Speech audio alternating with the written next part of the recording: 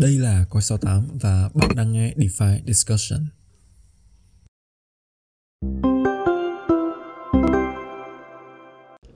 Ok, xin chào các bạn và chào mừng quay trở lại với DeFi Discussion và mình là Hồng Phong đến từ Coi 68. Uh, ờ, cũng lại một thời gian khá là lâu rồi mình mới sắp xếp được công việc và uh, quay trở lại với cái cảm giác quen thuộc này Ừ, để có thể nói chuyện cùng với mọi người để có thể chia sẻ về những cái thứ đã xảy ra với thị trường trong một khoảng thời gian vừa qua và nhưng mà trước khi bắt đầu thì mình sẽ lại để một gương mặt quen thuộc nói lời chào với mọi người trước ha hello Nguyên Ok, hello xin chào anh em. À, rất vui được gặp lại anh em trong một tuần mới và chúng ta lại có cơ hội để trò chuyện với nhau những câu chuyện xoay quanh à, thị trường crypto và đặc biệt là thị trường DeFi. Thì uh, tập tuần này uh, nếu như mà anh em thấy cái câu chào thì nó vẫn là như vậy thôi, nó vẫn uh, quen thuộc và nó vẫn giống rất là nhiều tuần trước đây. Nhưng mà uh, chắc chắn tuần này nó sẽ có một vài cái thay đổi nho nhỏ. Và mình tin là nó sẽ có những cái điều thú vị nho nhỏ và có thể là khi theo dõi hết tập podcast tuần này uh, anh em sẽ gọi là tìm tòi và thấy được cái sự thú vị nho nhỏ đó. Thì uh, rồi ok thì không dài dòng nữa thì chắc là chúng ta sẽ nhảy luôn vào cái chủ đề tuần này ha.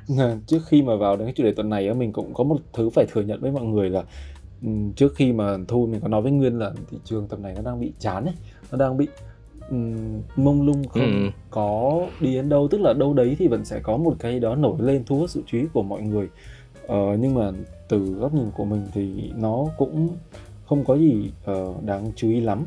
Thì thật ra trong những cái khủng cái thời điểm như thế này á cái con mắt của chúng ta cái sự chú ý của chúng ta sẽ hướng về những cái gọi là NDT à, những cái tay chơi lớn nhất trong ngành những người mà sẽ đứng ra để mà uh, lèo lái thị trường.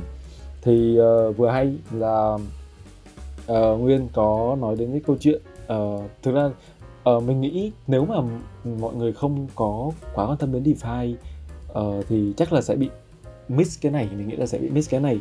Uh, nhưng mà cái cái câu chuyện mà Nguyên sẽ bring up ra uh, ở trong khoảng thời gian sắp tới thì nó là một câu chuyện khá là hay. Uh, nó là về một dự án tên là Venus. Um, Venus nếu như các bạn lần đầu tiên nghe đến cái tên này thì mình cũng không bất ngờ gì lắm tại vì uh, về về bản chất nó nó thiên là nó thiên về một công cụ tài chính ở trên DeFi và trên hệ sinh thái của Binance của bên VeChain. Uh, và nó sẽ cần khá là nhiều thứ bạn biết khá là nhiều thứ để mới có thể dùng vào được cái này. Uh, nhưng mà mình sẽ để cho nguyên uh, brief về cái cái case này. Nó là một cái case khá là hay thôi nhưng mà uh, mình sẽ để cái đất diễn cho nguyên trong cái phần này trước đi ha. Ừ yeah ok um, chắc là phải quay lại khoảng uh, gần hơn một năm trước tức là vào tháng uh, 10 2022 thì uh, chúng ta biết là cái cầu nối của BNB nó bị uh, tấn công và cái thiệt hại ở thời điểm đó nó dao động trong khoảng uh, gần 600 triệu. Thì đây là một trong những cái vụ hack mà có thể coi là lớn nhất lịch sử uh, liên quan đến cầu nối crosschain. Uh, hình như là top 2, top 3 gì đó mình không nhớ rõ lắm nhưng mà nó cũng là, gần như là lịch sử. Thì sau khi hack được cái cục tiền này rồi á ông hacker này ổng ờ, uh, bridge một phần sang các cái chain khác và giữ lại cái lượng BNB mà đã uh, gọi là đã bòn rút ra được ở trong cái ví của mình. Bằng một vài cái hợp tác thì ờ, một vài cái lượng tiền ở trên những cái chain khác thì phần nào đó nó đã được gọi là đóng băng. Và cái hacker này á cái lượng BNB mà họ giữ ở trên BNB chain á thì cái cách mà hacker này sử dụng để gọi là trục lợi thì là đép một lượng lớn BNB vào trong Venus. À, thì Venus nó là một cái lending protocol ha tức là nó gần như là thế chấp tài sản vào và nó cho phép mình uh, vay uh, một lượng tài sản theo tỷ lệ tương ứng. Thì ở đây là cái hacker này uh, nạp thế chấp BNB vào và vay ra USD uh, USDT ha. Thì đâu đó vay ra khoảng uh, 120 triệu đô thì cái khoảng thời gian mà hacker này thực hiện cái thủ thuật đó thì BNB nó vẫn ở một cái mức giá nó gọi là cao và cái tỷ lệ thanh lý nó không quá là nghiêm trọng. Tuy nhiên á, là khi mà thị trường nó đang gọi là nó đang nhàm chán như thế này và nó bắt đầu nó có những cái xu hướng giảm kéo dài thì cái vị thế này nó bắt đầu nó tiến gần đến cái rủi ro thanh lý. À, khi mà nó thanh lý thì mọi người bắt đầu đồn đoán với nhau những cái phút liên quan đó là à cái này nó có thể gọi là nó kéo giá BNB lao dốc một cách thảm hại. Thì đó là những cái drama uh, những cái tin đồn những cái phút liên quan đến cái vị thế của cái hacker này ở trên Venus. Thì uh, yeah, thì, thì thì đó là một cái tóm tắt chung nhất về cái câu chuyện của chúng ta hôm nay. Ok uh, mình sẽ pause ngay tại đấy. Nghe đến khúc này chắc là nhiều bạn sẽ bắt đầu thắc mắc là uh, tại sao cầm BNB mà lại phải đi thế chấp tiền ở trên Venus? Ừ có phải là tại vì dính tiền bẩn xong rồi nếu mà chuyển cái đống BNB đấy đi thì chuyển đến đâu thì cũng sẽ bị khóa và không cắt sao ra được không À, thực ra thì à, uh, cái thủ thuật này uh, rất là nhiều các cái hacker họ họ sử dụng. Uh, trước đó chúng ta thấy đó, có một cái case là hacker hack cái ví của Wintermill á, thì Wintermill là một cái đơn vị làm thị trường uh, market maker uh, khá là nổi tiếng trong thị trường. Thì cái hacker đó họ cũng dùng cái thủ thuật tương tự tức là họ gửi cái tiền mà đã hack vào trong cái pool của Curve thì vì các cái giao thức DeFi á, thường nó sẽ có một cái yếu tố gọi là cái permissionless là cái thứ nhất. Cái thứ hai là nó sẽ không có quyền đơn phương đóng băng cái tài sản đó. Nếu như mà cái DAO đó họ quyết định có một cái vote chẳng hạn để để đóng băng cái tài sản hay là xử lý cái khoản tiền đó như thế nào thì cái đó nó sẽ cần một khoảng thời gian và nó không nó không gọi là gọi là nó không ngay lập tức liền thì thì thì nó không có linh hoạt ở cái chỗ đó thì hầu hết các hacker thì họ sẽ sẽ dùng cái thủ thuật đó tức là họ ừ, họ gửi một cái lượng tiền rất là lớn vào trong một cái protocol lending và họ vay ra các cái uh, tài sản chẳng hạn họ rút những cái LB token ra chẳng hạn thì đó là một trong những cái cách mà các hacker họ thường dùng. Ừ, yeah. Và khi mà cầm được đến đến tiền rồi á thì uh, về về mình nghĩ á, về bản chất của hacker thì trong cái case của Venus này thì hacker cũng sẽ không quan tâm đến việc là thanh lý ra bao nhiêu đâu tại vì hắc mà rút ra được khoảng độ trăm triệu đô thì xài đến cuối đời chắc không hết ờ, nhưng mà quan trọng là cái cục ừ. cái cục tiền đấy á, có những người phải đau đầu để giải quyết hơn đó uh, ừ. thì thì như nguyên nói á, uh, một cái số tiền hàng trăm triệu đô như vậy thì khi mà bị thanh lý á, thì nó sẽ xả ra thị trường đúng không nguyên và ừ, đúng và rồi. với một với một cái volume mà eo uột như hiện tại á thì BNB kể cả cho BNB nữa đi 200 triệu đô mà đổ ra thì nó cũng là một vấn đề rất là lớn.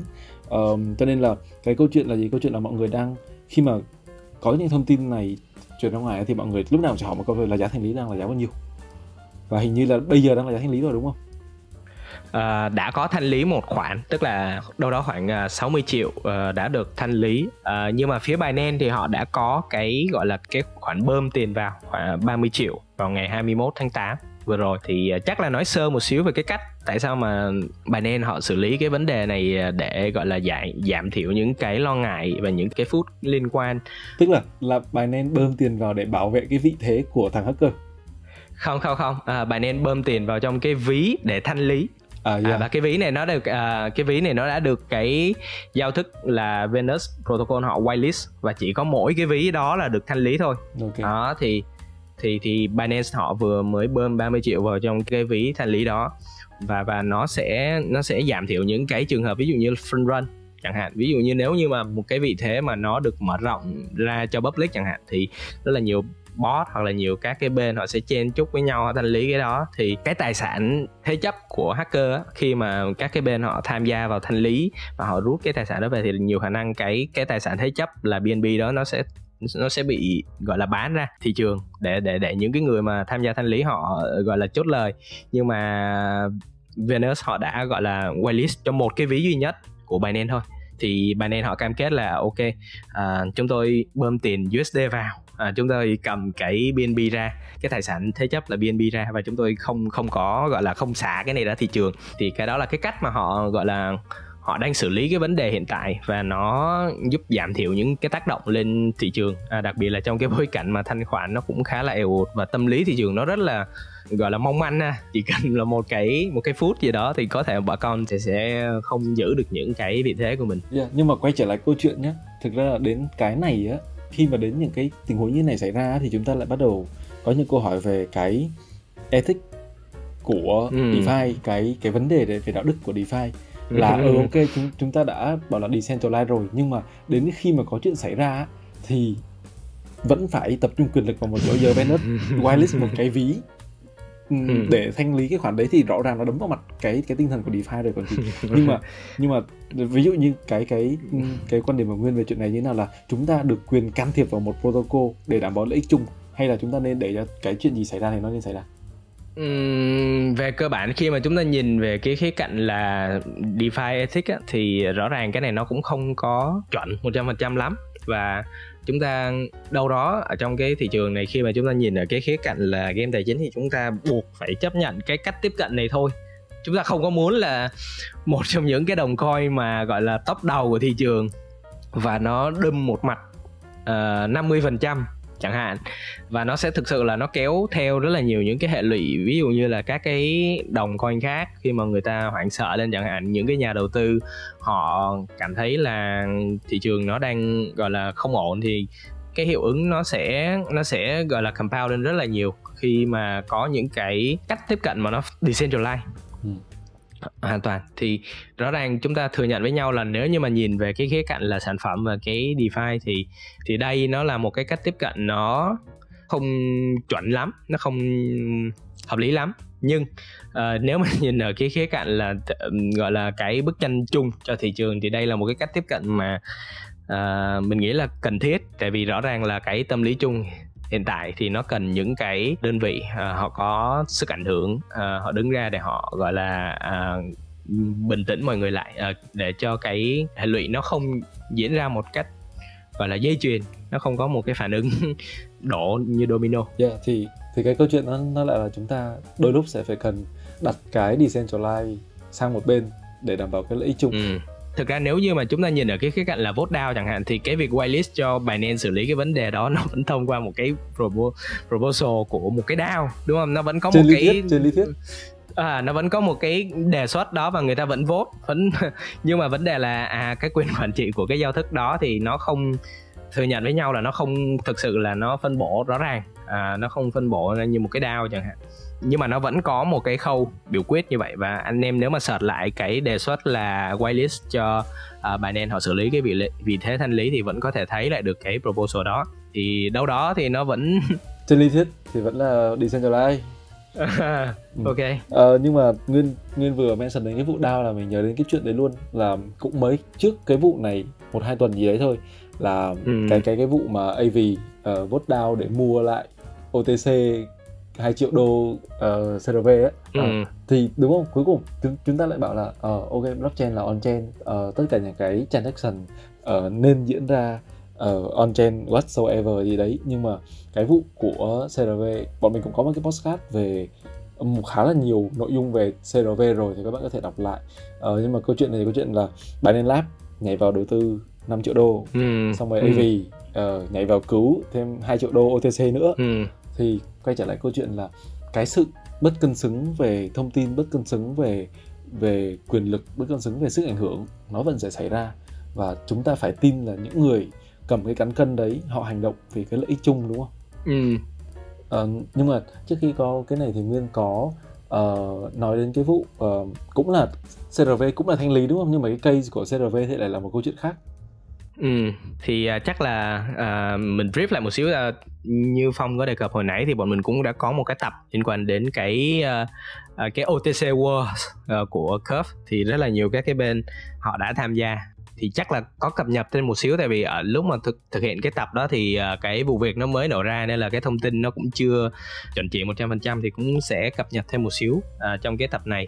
Đó là cái việc mà Binance Labs họ cũng tham gia vào trong cái deal uh, OTC đó và uh, vẫn lại là bài nền đúng không uh, và còn nhiều nhiều bên khác ví dụ như là Wintermill chẳng hạn hoặc là DWF thì họ cũng đã có những cái deal OTC và mọi người uh, tại sao mọi người nói nhiều đến cái uh, CRV OTC deal này mặc dù nó đã qua cách đây khoảng hai ba tuần rồi thì câu chuyện là vì cái cũng trong cái đợt mà thị trường lao dốc vừa rồi thì CRV nó bắt đầu nó lao dốc theo cái đà chung của thị trường. À, đâu đó hiện tại nó vẫn đang ở trong khoảng là 0,45 gì đó. Ở thời điểm mình, bọn mình thu cái podcast này. Thì nếu như mà anh em theo dõi à, thì thấy các cái deal OTC phần lớn nó phân bổ ở trong cái khu vực là 0.4 tức là các cái bên họ mua OTC thì cái giá CRV nó sẽ là 0.4 và khi mà cái giá thị trường nó bắt đầu nó tiệm cận cái vùng OTC đó thì mọi người bắt đầu cũng đồn đoán là à mấy ông tham gia cái OTC World này cũng sẽ bắt đầu, gọi là, tan tính vậy đó ha. Tức là sẽ sẽ có thể là bán ra thị trường hoặc là làm cái này cái kia thì cũng nhiều cái thông tin nó cũng phút như vậy. Thực ra thì trên, on chain người ta cũng từng thấy một cái một vài cái giao dịch là gửi CRV lên trên sàn Binance của các cái bên ví dụ như là Wintermill và DWF thì nó cũng phần nào gọi là mọi người cũng đồn đoán thêm tức là nó nó uh, nó nó làm tăng thêm những cái nghi ngờ liên quan đến cái việc là các cái bên này họ thậm chí họ có thể đâm thị trường uh, đâm đâm CRV ra thị trường. Nhưng mà các cái bên làm market making này thì họ cũng cũng có những cái đính chính. Và để là mình cũng đọc thấy một cái tweet ở trên Twitter thì cũng uh, bây giờ nó là X ha. Mạng xã hội X thì uh, cái tweet này về cơ bản thì họ cũng nói là à có một cái uh, một cái chương trình uh, VIP account uh, cho phép thế chấp uh, CRV ở trên Binance và thực hiện những cái khoản vay thì thì hiểu nôm na nó cũng là lending đó. Nhưng mà nhưng mà nó nằm ở trên cái khu vực của CX chứ không phải là on chain. Thì có những cái giả thuyết như vậy và song song với cái việc là các cái founder của các cái bên làm market making á, thì họ cũng bảo là à, bọn tôi không có không có manipulate gì hết tức là bọn tôi sẽ ok đồng ý làm theo những cái gì trong cái deal OTC thì uh, theo chia sẻ của nhà sáng lập của Cup Finance thì cái deal OTC này thường thì nó sẽ kéo dài khoảng 6 tháng đến một năm tức là những cái bên mà họ đã mua OTC này thì họ cam kết là 6 tháng một năm. Chúng ta cũng gọi là gọi là nghe như vậy thôi. Cũng uh, tin là họ sẽ làm đúng với cái ethic đó. À, chứ um, nếu mà thực sự là cũng là những cái token mà họ đã mua OTC họ đã có những cái khoản premium mà họ à, đi ngược lại những cái giao ước mà họ đâm ra thị trường thì uh, quả thật là với cái bối cảnh thanh khoản hiện tại thì rất rất là khó để có thể giữ được những cái mức giá nó gọi là ừ, trông được thì đúng thì cái cái cái cái quan trọng là gì uh, khi mà chúng ta nhìn nhìn rộng hơn nhìn về những cái uh, tay chơi lớn này ở tay chơi lớn trong thị ừ. trường thì chúng ta buộc buộc phải tin là họ đang hành động vì lợi ích chung uh, ừ. thì thực ra là họ cũng có cái động lực thôi tức là khi mà họ đưa cái cái thị trường qua được cái khoảng thời gian khó khăn như thế này rồi thì họ phải bet vào một cái cái việc là ừ đây nó chỉ là một cái đoạn correction một cái đoạn giảm uh, trong một thời gian ngắn thôi và uh, trong dài hạn thì nó sẽ tiếp tục đi lên uh, ừ. Ừ. Uh, tuy nhiên nhưng mà câu chuyện này câu chuyện là chúng ta đã thấy rất là nhiều uh, gọi là cũng tay chơi lớn đi ừ, cũng cũng làm sai cũng cố cố gắng đi cửa sau cũng làm tất cả mọi thứ để có được lợi cho bản thân mình rồi và câu chuyện này câu chuyện thậm chí người ta không nghĩ là người ta làm sai người ta vẫn tin là người ta làm đúng cái chuyện đấy. Ừ, nhưng mà nó nó là một câu chuyện ừ, khác. Nhưng mà thực ra thì nhân nhân cái dịp này thì cũng cũng muốn bring up ra luôn. Đó là uh, chúng ta làm ra những cái protocol để chúng ta hạn chế cái cái sự involve của của con người vào đúng không? Chúng ta sẽ có là ừ uh, smart contract rồi tất cả những cái giao thức rồi tất cả mọi thứ.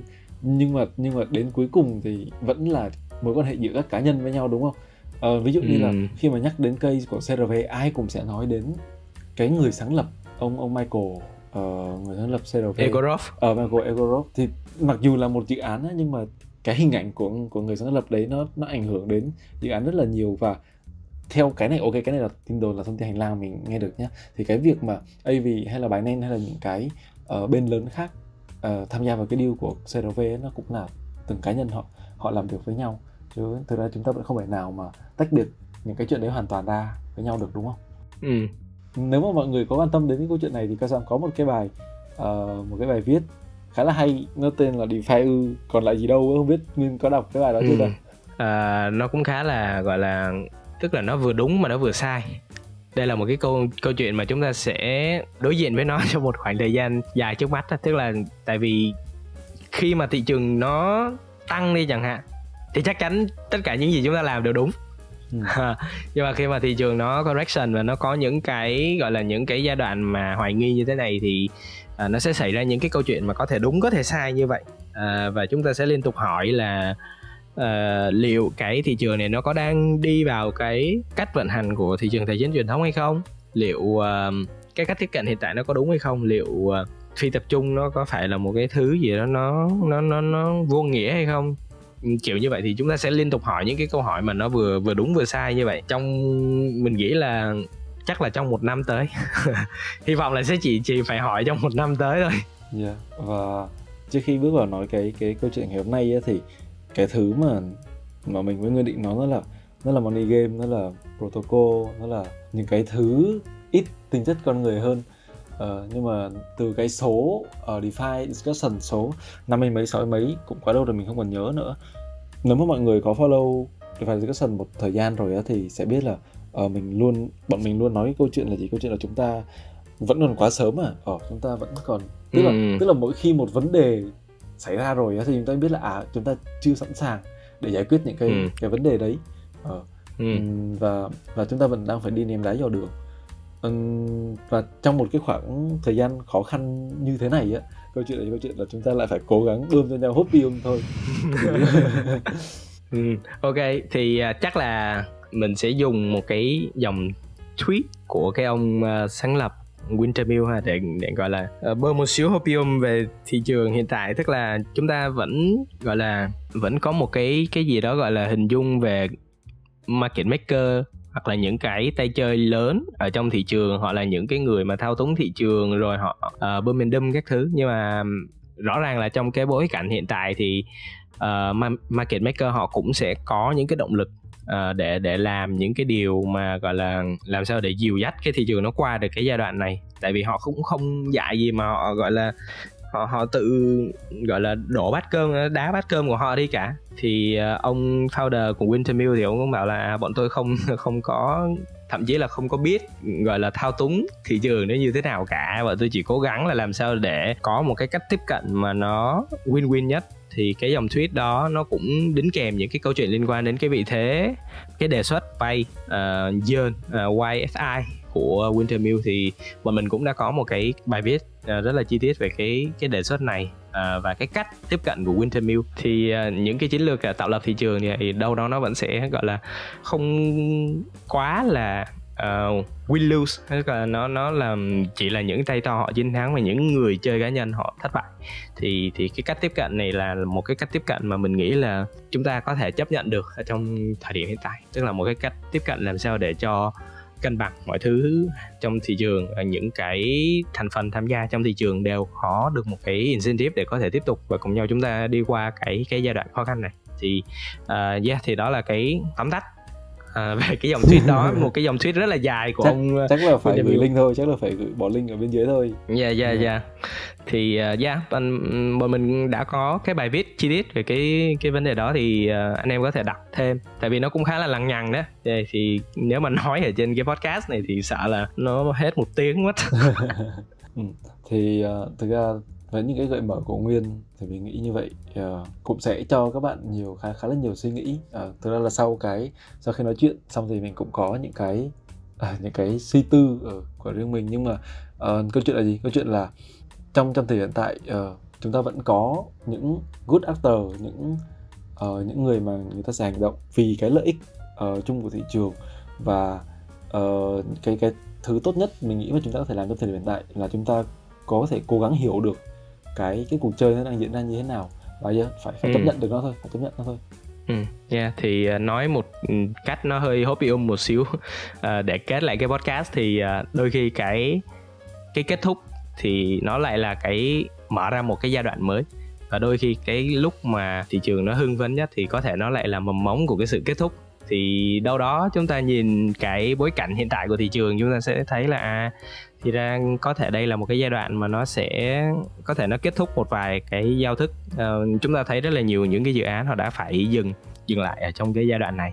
Thì uh, có thể nó là kết thúc nhưng mà nó sẽ là một cái mở ra một cái uh, bước phát triển mới cho thị trường trong thời gian tới. Thì chúng ta chỉ có thể gọi là bơm ôm cho nhau như vậy thôi trong cái bối cảnh thị trường hiện tại. Yeah. Dạ, và thứ mình nghĩ như vậy cũng đã khá đủ cho uh, DeFi discussion của tuần này rồi. Xin chào các bạn và hẹn gặp lại trong những số tiếp theo của DeFi discussion và hy vọng là chúng ta vẫn sẽ ở đây và chia sẻ với nhau về thị trường. Ok bye bye. Cảm ơn anh em rất nhiều đã uh, nghe đến hết những giây cuối cùng của DeFi discussion tuần này. Ok xin chào các bạn